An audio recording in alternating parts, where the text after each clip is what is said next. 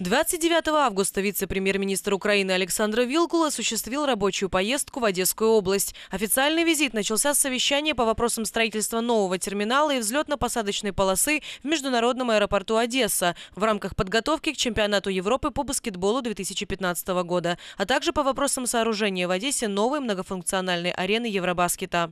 В этот же день Александр Вилкул посетил открытие в Ильичевске резервуара чистой воды с насосной станцией, которая обеспечит централизованным водоснабжением жителей города.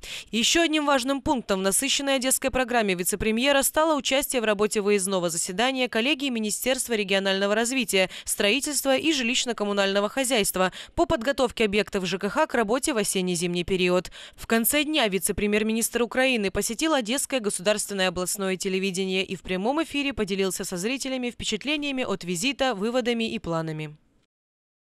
На Украине идет подготовка к большому празднику спорта. Это к э, финалу Европейского первенства по баскетболу, Евробаскету 2015. Самое главное, мы должны помнить, что это пятое по значимости спортивное событие в мире и второе по массовости э, спортивное событие на европейском континенте. После футбольного Евро, которое Украина успешно приняла в 2012 году. Э, ряд городов, э, трагически, я считаю, не получила права на проведение э, футбольного Евро-2012. Это в том числе и город Одесса. Но ничего, сейчас есть возможность наверстать при подготовке к Евробаскету 2015. Что это даст Одессе? Берем аэропорт. Сегодня аэропорт Одессы является южными воротами Украины, динамично увеличивается пассажиропоток. В этом году он достиг где-то до миллиона пассажиров.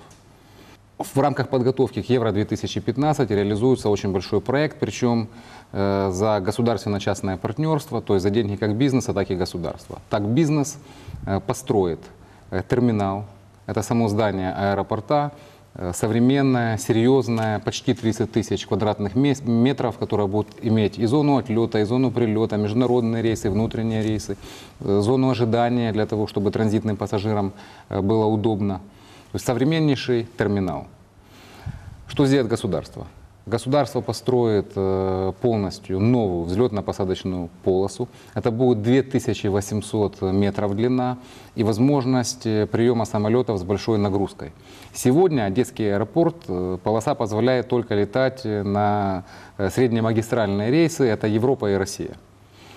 Новая полоса даст возможность Одесскому аэропорту, фактически третьему аэропорту в стране, выполнять рейсы на длинномагистральных линиях. Это уже Америка, это уже Бангкок, Азия и так далее. Дальше уже будут зависеть э, от менеджмента аэропорта, какие он привлечет э, рейсы. То есть я думаю, что потенциал Одесского аэропорта до 2,5 миллионов. Для Одессы это важно, как для бизнес-центра нашей страны, как для туристического центра нашей страны. Это большой проект, который может быть катализатором роста. Я уже не говорю о том, что можно в дальнейшем привлекать и грузовые перевозки, становиться там, хабом или перевалочным пунктом, что даст еще дополнительные рабочие места и дополнительный заработок. Второе. Это мультифункциональная арена.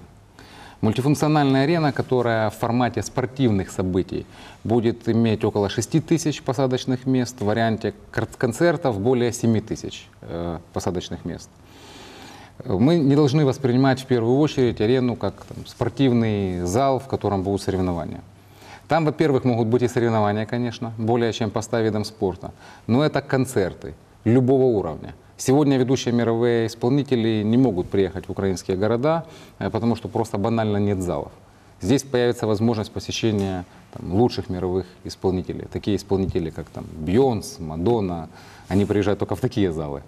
Второе – это возможность проведения бизнес-конференций и выставок для Одессы как для делового центра. Это очень важно. Ну и, конечно, соревнования. На таких аренах в Европе, в Америке проходят 270-280 событий в году. То есть фактически это такой еще один кластер э, экономики, которого до этого не было.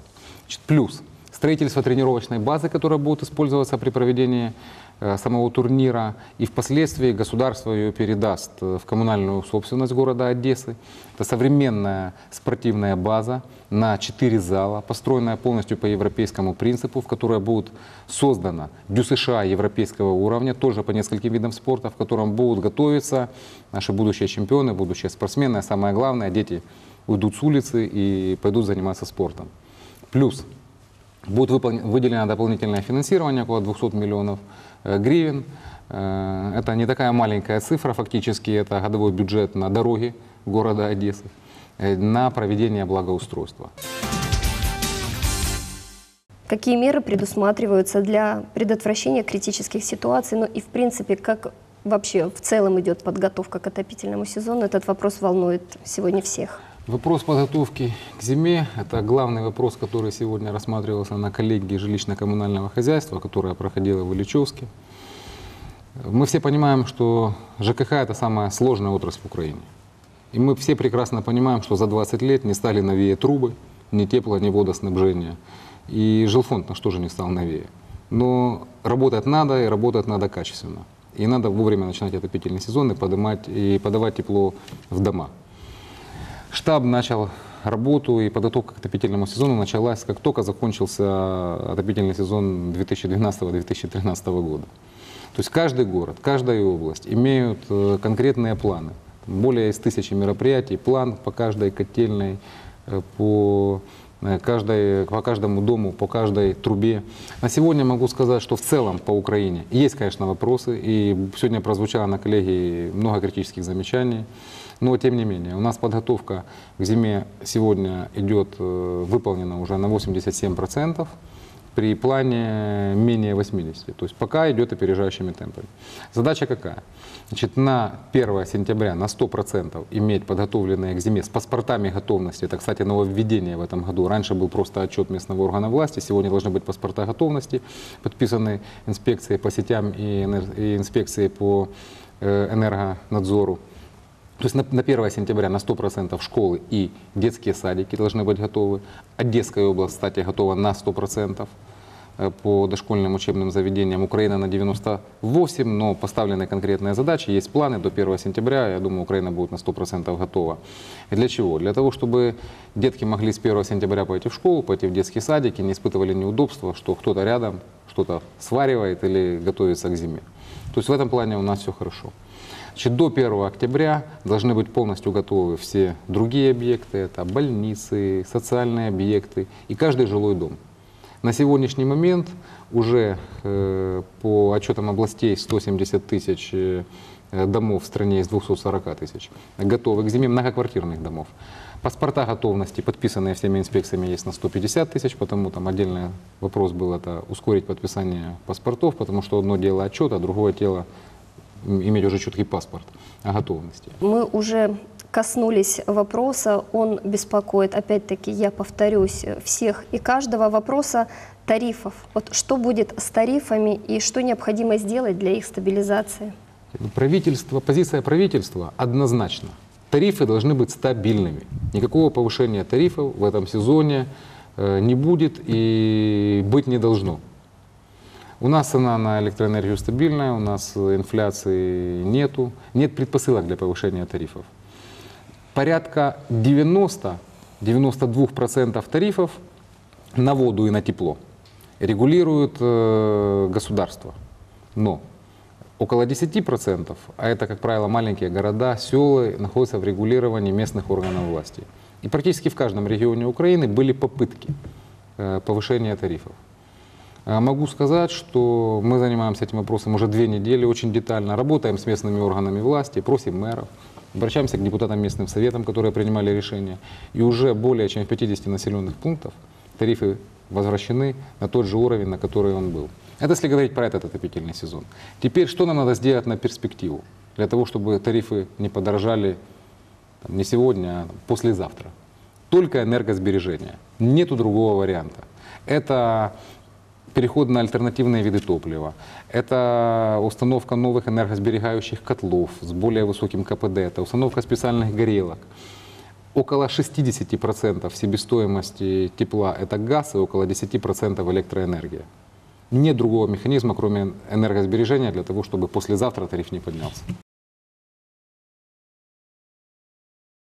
Визит ну, вице-премьера Вилкула был направлен на то, чтобы действительно эм, со стороны Кабмина, со стороны правительства с одной стороны проконтролировать, с другой стороны посмотреть за теми процессами, которые происходят в Одесской области, в городе Одессе, по таким важным вопросам, которые беспокоят, наверное, многих одесситов и имеют отношение к жизни нашего города. Это, с одной стороны, ЖКХ, это, с одной стороны, будет ли Одесса с теплом, будет ли она с газом, как одесситы проведут, скажем так, зимний период. С другой стороны, оно касается таких важных вещей, как строительство аэропорта, вещей, которые вызывали не однажды, э, скажем так, резонанс, различного рода кривотолки.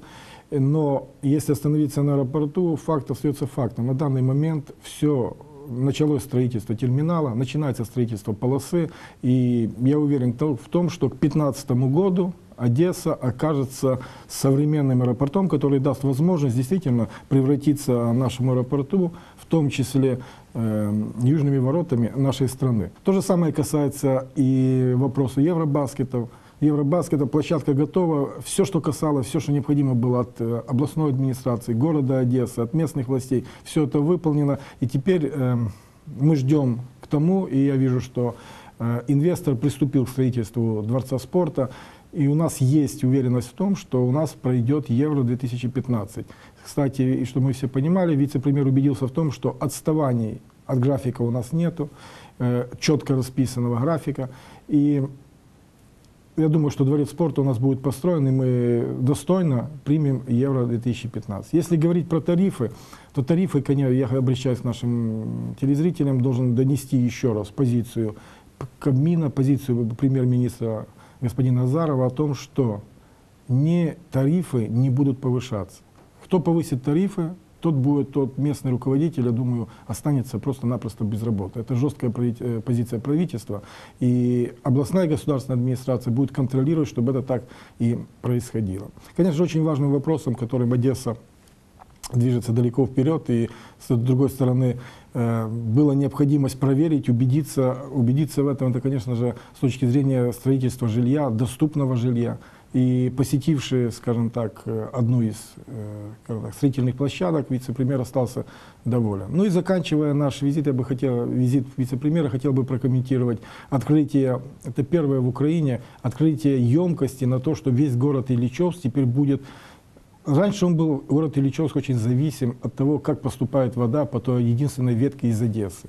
И поэтому возникало очень много вопросов, очень перебои были, э, мог город оставаться без воды, поэтому они пошли по пути, что они сделали суперсовременное, скажем так, дело. Я называю дело современное, это была сделана огромная емкость, которая наполнена э, водой, и если есть какие-то перебои, не дай бог, возникнут, Ильичевск будет просто-напросто получать воду из этой экологически чистой, вот с этой емкости. И этим вопросом, знаете, это первая в Украине такая емкость. Она самая большая, это именно то, когда мы говорим про питна вода, чистая вода программа. Вот город Ильичевск это все продемонстрировал и стал пионером во всех этих процессах. И как бы подводя итоги, я бы хотел сказать, что это была конструктивная поездка, которая, еще раз говорю, была направлена прежде всего на инспектирование таких объектов, как аэропорт, как дворец спорта, и действительно и проведение совещаний с точки зрения и обращения внимания, что недопустимость повышения тарифов.